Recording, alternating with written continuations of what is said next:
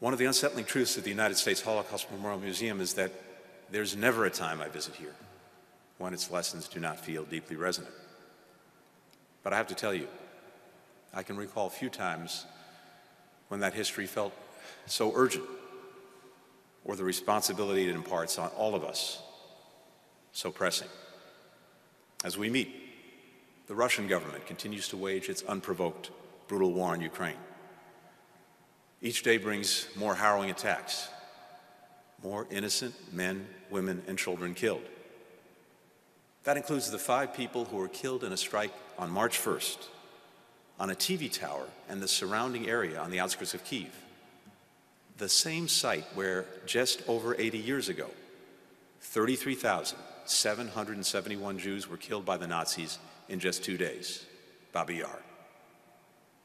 Ukraine is home to nearly 10,000 Holocaust survivors, including an 88-year-old woman, Natalia Berznaya of Odessa. Here's what she said in a recent interview, and I quote, It's hard to wrap my mind around the fact that in 1941, I had to hide in the basement of this building, and that I'm going to have to do that again now.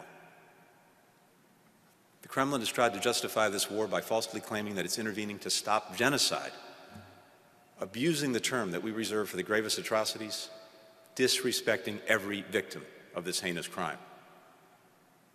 Yet, even as we're working to increase international pressure on the Kremlin to end this unjustified war, we know there are many other places in the world where horrific atrocities are being committed. Hi, everyone. George Stephanopoulos here. Thanks for checking out the ABC News YouTube channel. If you'd like to get more videos, show highlights, and watch live event coverage, click on the right over here to subscribe to our channel. And don't forget to download the ABC News app for breaking news alerts. Thanks for watching.